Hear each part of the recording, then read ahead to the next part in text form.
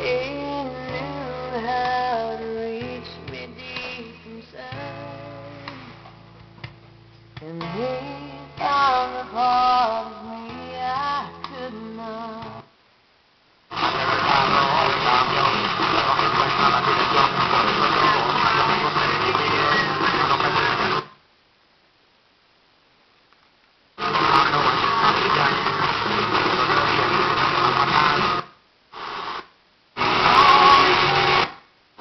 Leon Fleisch.